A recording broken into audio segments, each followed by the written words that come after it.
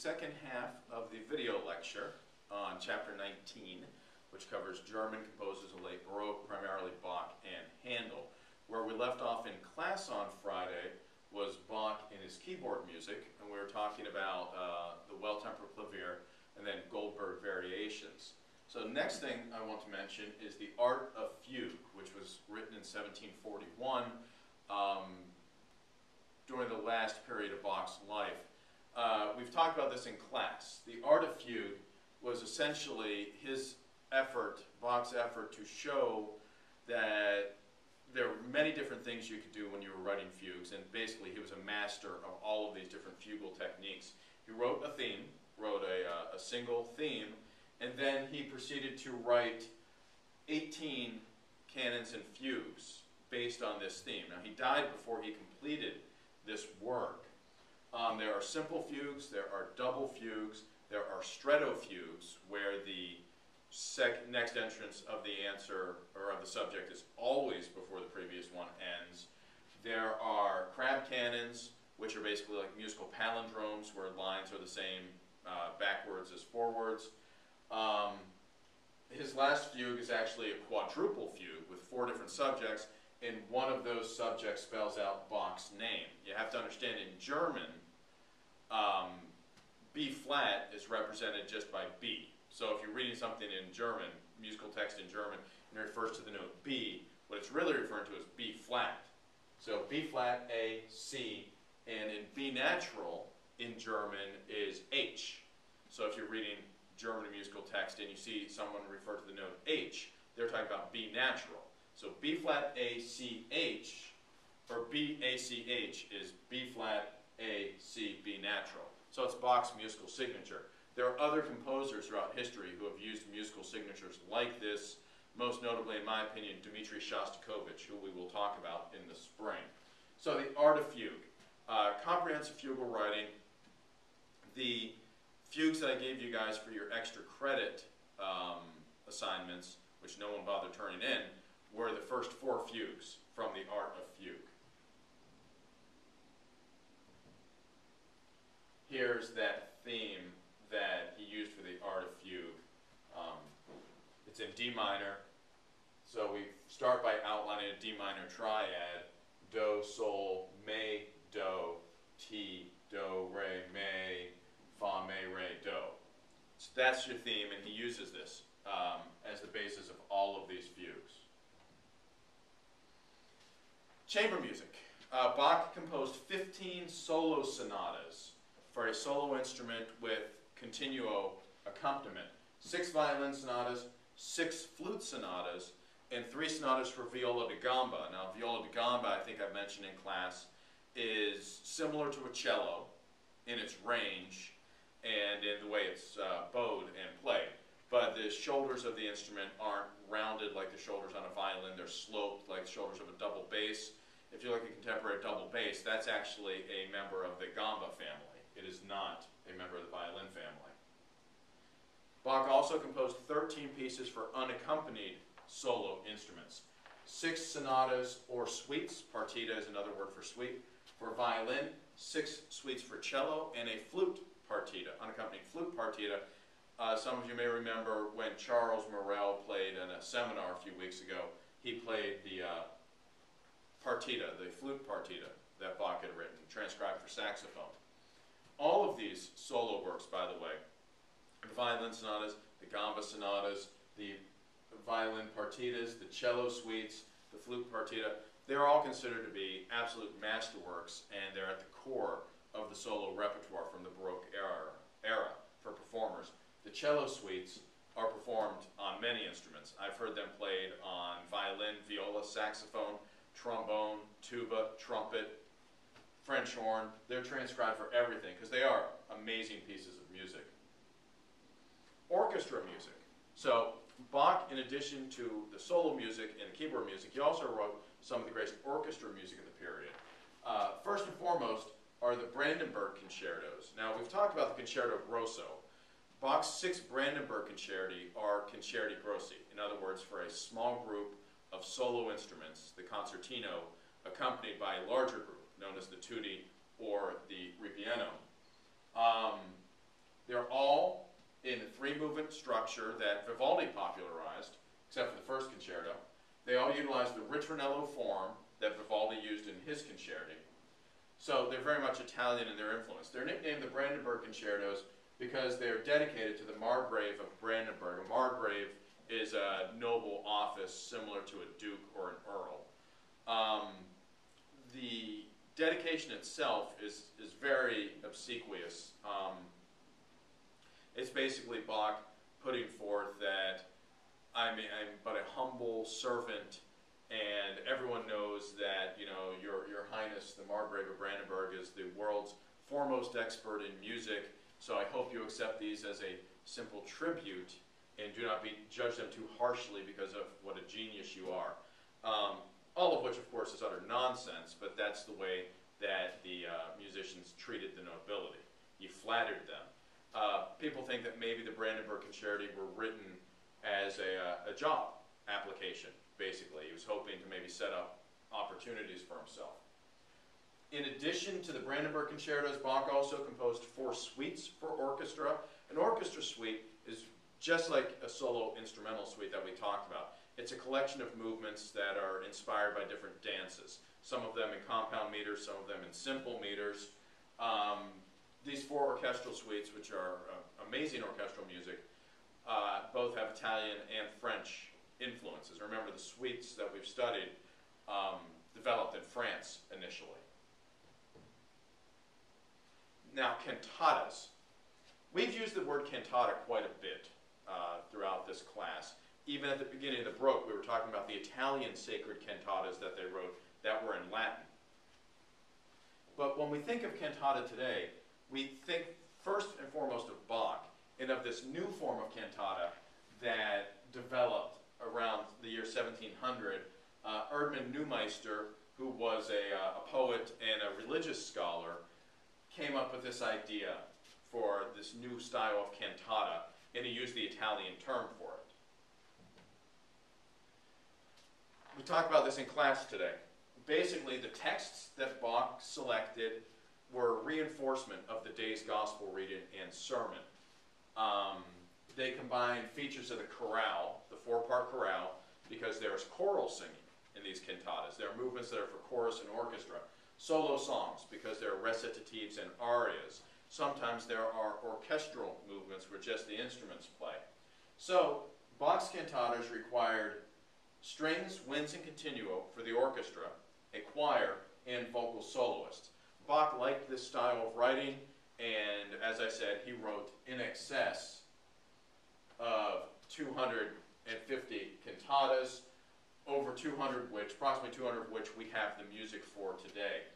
Um, the churches that he composed for in Leipzig, in addition to any other music that he wrote, needed 58 cantatas a year for performances at different services. Uh, so early in his career, Bach wrote a lot of new cantatas, and then later in his career, he recycled a lot of the cantatas he had written earlier. He also composed about 20 secular cantatas that is using this cantata format only on secular themes, some of which he then repurposed as sacred music just by substituting sacred lyrics.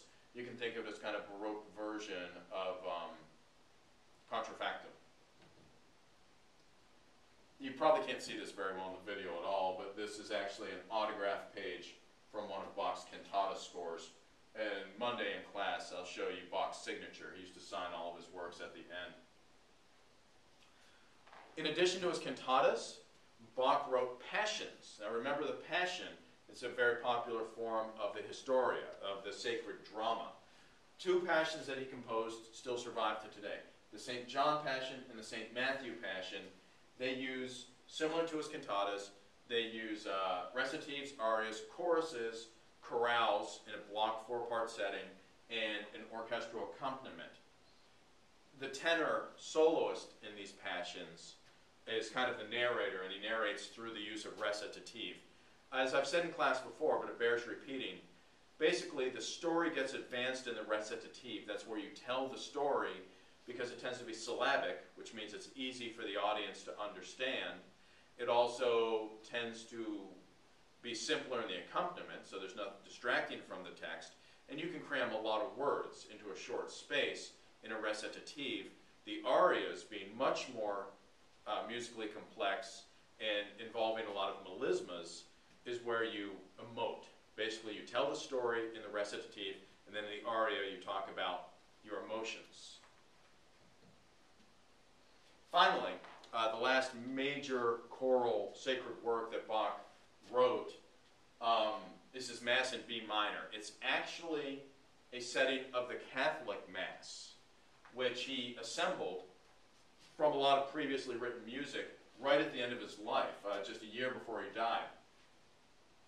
He adapted music from earlier compositions as well as just recycling some of it, and he composed, newly composed a few sections as well, mixing the stile antico, remember that is the style of German counterpoint that looked back to Palestrina, and some more modern styles.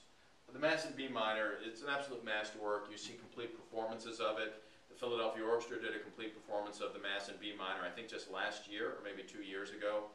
All of these Bach pieces have amazing vocal parts. They also have very tricky uh, orchestra parts. So that pretty much wraps up Bach. Um, in class on Monday, we will listen to a movement of his cantata, uh, several movements of one of his cantatas to show you just the different styles um, that he was writing in with his recitatives, arias, choruses, and his orchestral writing. Bach was a master of all of these styles, and as I've said in class, he wrote in every style of the late Baroque except opera. He's probably, I can't even say that, I was going to say he's probably best remembered for his sacred music, but he's not really, because his secular music, his Brandenburg concertos, his orchestral suites, and his solo music, as well as his non-sacred uh, organ and keyboard music, like uh, the Well-Tempered Clavier, are absolutely the pinnacle of music. Bach's music really serves as the cornerstone of the modern repertoire. Sounds funny to say that, doesn't it? That a guy who lived 250 years ago is the cornerstone of the modern repertoire. But we really think about the vast majority of the music that we perform and experience as Western classical musicians begins with the mid-Baroque. Begins, um, a lot of it begins with Bach and moves forward. Bach's contemporary, George Frederick Handel. Handel was also German. He was actually born in the same year, in the same month, in the same region of Germany as Bach was. He lived nine years longer, 1685 to 1759. I've said in class that I'm not going to require you to memorize dates of very many composers, but there are a few that I want you to memorize. Bach is the first of those. Bach was born in 1685, died in 1750. That's a date that I think is very important that you know. Handel, 1685 to 1759. There are a few composers we're going to talk about down the line who I think their dates are important to know as well. Most composers, it's just important to know when they composed. Few composers, I think it's important to know their dates. Handel was very well traveled. If you look at his contemporaries, Bach pretty much stayed in Germany his entire career. Yes, he did have influences from other parts of the world, but for the most part, Bach stayed in Germany. Um, Vivaldi more or less stayed in Italy. Rameau more or less stayed in France. Handel was born in Germany, where he initially studied. He studied organ, harpsichord, and counterpoint. Then he traveled to Italy when he was 19 years, no, yeah, 19 years old, he traveled to Italy where he spent four years studying opera. He lived in Italy from 1706 1710, um, met some of the leading Italian composers of the day, and really began to absorb Italian styles. So, he studied organ, harpsichord, and counterpoint in Germany, then moved to Italy where he studied opera and absorbed Italian style. Very famous portrait of Handel, again, with music, in this case sitting at the keyboard. Not wearing a wig though. A lot of famous portraits of Handel, he's wearing one of those big powdered wigs. Handel wound up moving to England, where he lived uh, the majority of his productive life in England. Uh, he is best known for his Italian operas and his English oratorios, and we'll break down what that is in just a moment. Um, his major works, oratorios. He wrote about 25 oratorios, the most famous of which are Messiah, Saul, Samson, and Israel in Egypt although he did write Judas Maccabeus is another very famous one. but he wrote over 20 oratorios in English, and he wrote about 40 Italian operas. Uh, probably the most popular which is uh, Julius Caesar in uh, Italian, Giulio Cesare. Um, he also wrote about 100 cantatas in the Italian form, not the German form that Bach used, but in the Italian form. Concerti, over 40 concertos, over 20 trio sonatas, solo sonatas for various instruments, more keyboard pieces than we can talk about, and two major orchestral suites, water music and music for the Royal Fireworks. Remind me on Monday, uh, I want to show you a video of a really fabulous performance of his orchestral music. So, in 1710, Handel moved from Italy to England, where he became the music director for the Elector of Hanover. That was a position. The Elector of Hanover was the heir to the British throne. He later, in 1714, became King George I. So Handel moved up in the world. The guy he was working for became the king in 1714. So Handel's salary got doubled.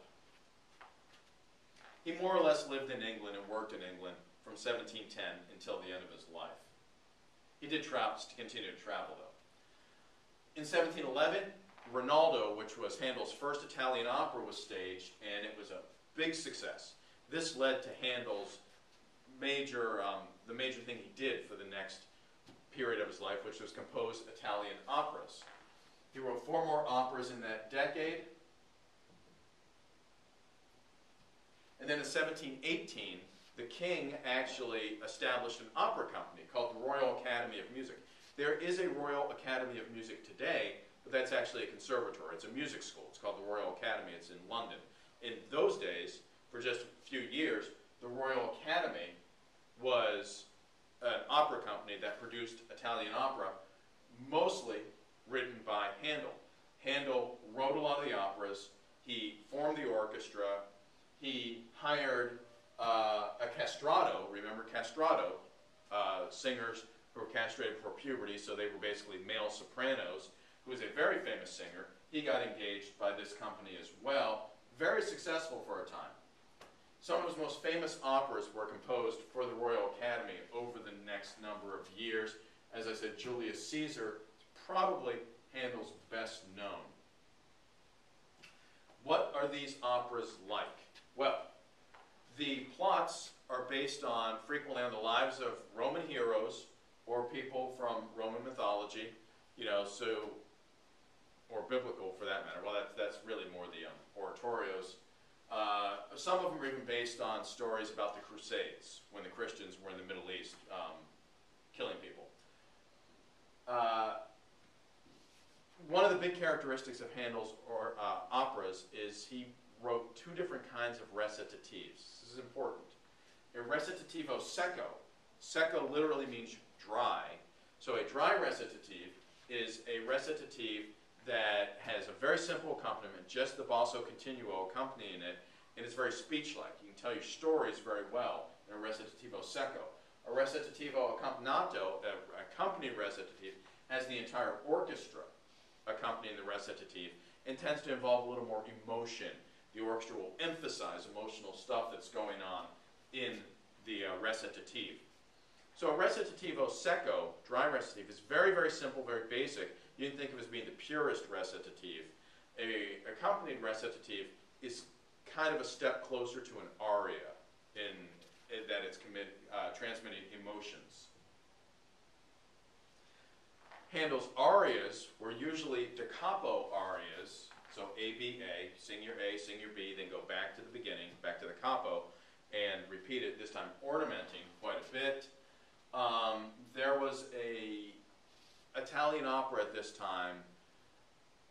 They would write arias for specific singers, and uh, the singers demanded a certain number of arias. Sometimes it was written into the contract that a singer would be given a certain number of arias within the opera.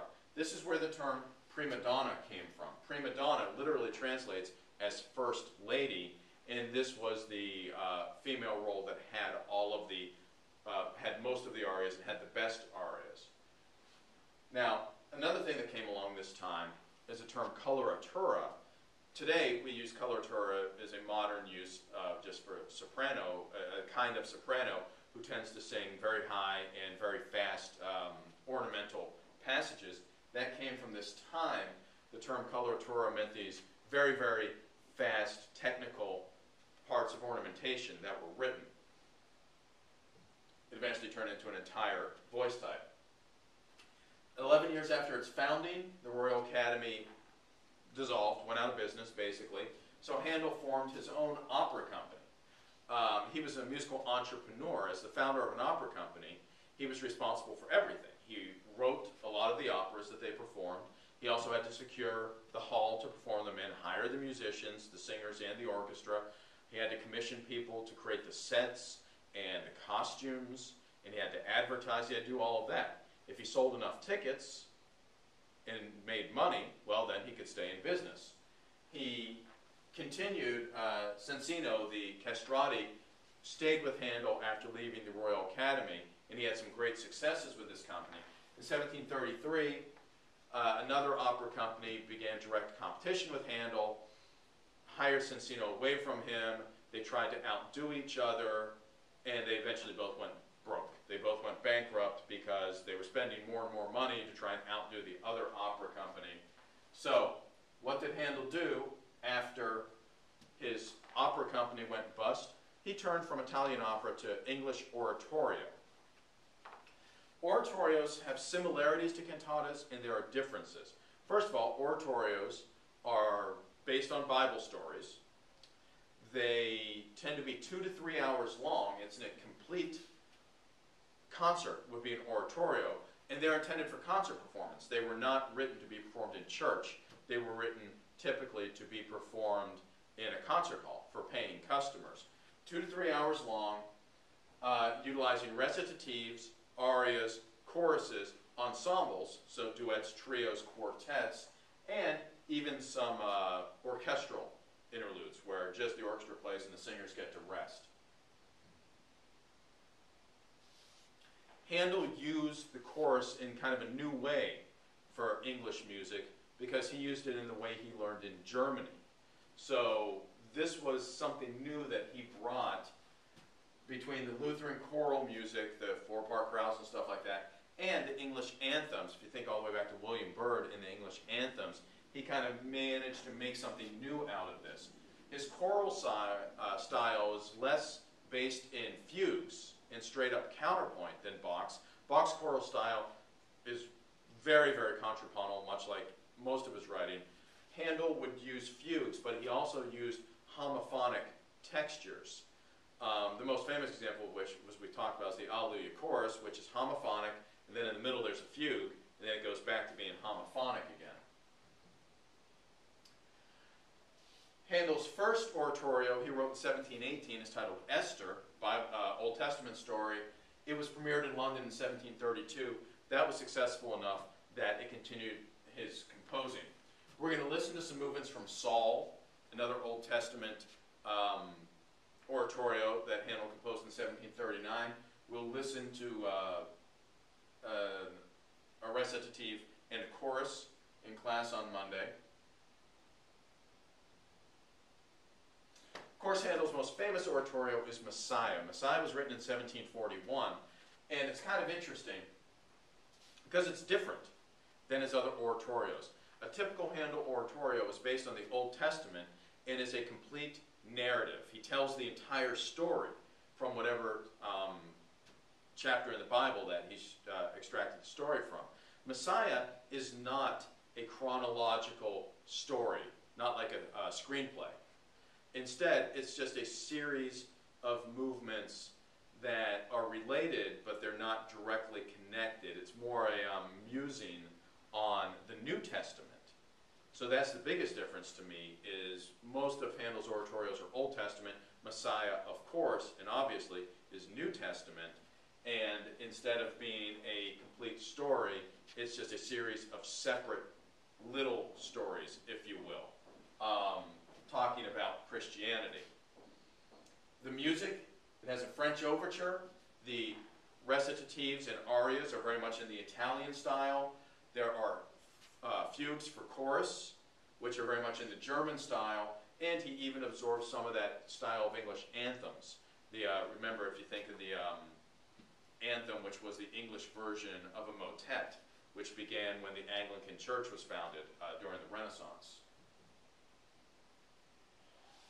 Handel's oratorios were performed frequently in London. I have a picture of myself somewhere standing. I was in, in uh, Ireland, and Messiah was world premiered in Dublin, Ireland.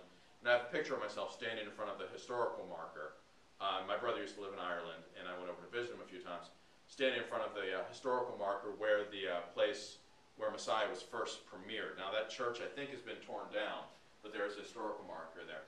Oratorios were a lot cheaper to produce than opera. You didn't need stages, staging, you didn't need sets, you didn't need costumes. So oratorios are much more cost effective to perform. He also wrote them in English, and Handel used English singers instead of Italian singers. The Italian opera singers got paid a lot more. So, and then finally, the oratorios, they were very popular among the middle class, so he had no problems at all selling tickets to these performances. So the oratorios that Handel wrote were actually much more cost effective than the operas that he had been staging. Instrumental music. As I mentioned, he wrote a lot of uh, concertos, uh, he wrote trio sonatas, he wrote orchestral music, um, he wrote harpsichord suites, probably the most famous of which is titled The Harmonious Blacksmith, solo sonatas, trio sonatas, but his most popular instrumental works, most famous instrumental works, are two suites for orchestra. The first one is called Water Music, and that was written to be performed um, this great royal gathering outdoors at the Thames River, uh, which is the big river that flows through London. And the musicians were actually on barges. The barges were anchored in the river, and the musicians were uh, up on those. Uh, 1749, he wrote more orchestral music titled Music for the Royal Fireworks. That's pretty self-explanatory. They were written, it was written as music to be played during a great uh, outdoor festival of fireworks. Handel lived in England from 1710 until the end of his life, and he was considered by the English to be the greatest English composer, although he wasn't English. He's buried in Westminster Abbey, which is the Royal Cathedral in London, same place where Henry Purcell is buried. Um, the amazing thing about Handel's oratorios is it's one of the few pieces of music, classes of music, that have never not been played. We've talked about this. Almost every composer who's ever written music, their music went through a period where people weren't playing it. Usually the period immediately after the composer's death, that music was no longer being performed. Handel's oratorios, there's never been a period in time when they've not been performed. They were performed during his lifetime, but even after Handel died, choruses immediately started performing his oratorios or continued to perform his oratorios. And in the 1800s, they actually founded choruses for the sole purpose of performing Handel's oratorios. So there's never been a period of time when Handel's oratorios have not been in the repertoire. This is actually Handel's um, sculpture of Handel at his grave at Westminster Abbey. Okay, that finishes the slideshow. Uh, there will be a, I believe, a short quiz posted up on Blackboard, of course. And in class on Monday, we're going to listen to a Bach cantata, and then we're also going to listen to movements from uh, Handel Oratorio, and uh, I'm going to show you a video of Handel's Royal Fireworks music as well. At the end of class Monday, I'm going to pass out the exam. It will be due in class on Friday, the 8th